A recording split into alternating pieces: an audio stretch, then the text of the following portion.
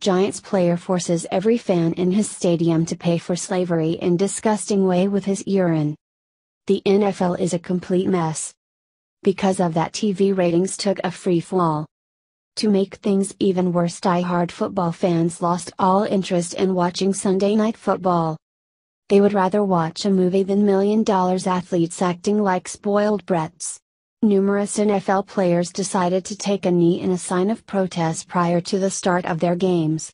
It got real ugly after Michael Bennett decided to take the antics to a whole new level.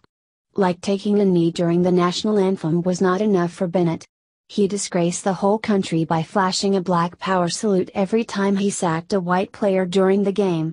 But right when we thought things could not get worse in the NFL, New York Giants player Odell Beckham Jr. stunned us with his gesture during the game between the Eagles and New York Giants that played out this past weekend.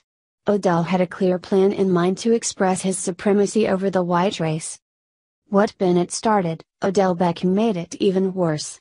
He gave a whole new meaning to the word disrespect.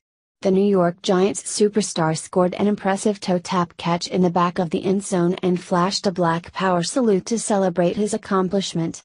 But a few moments after, Odell dropped down onto all fours, while he pretended to take a piss on the field like a wild animal.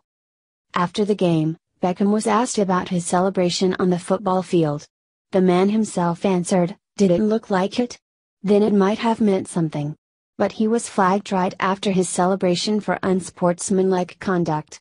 Eagles coach Doug Pederson could not believe his eyes and he expressed his anger during a press conference, revealing that Beckham's behavior is not something that will simply be forgotten.